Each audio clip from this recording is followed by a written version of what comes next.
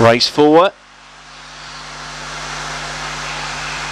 They're racing, slow to move. Stick Hero beginning well towards the centre. Lord Regina will go forward and have the lead from Atomic Opie, the favourite.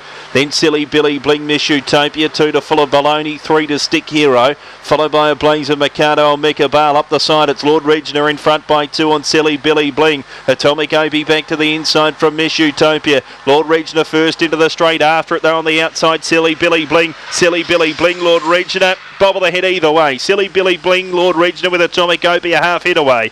Next full of Baloney. Then Miss Utopia from Stick Hero. Uh, a couple well back in the race there. Mecca Bale, one of those with full of baloney in 26 and 34.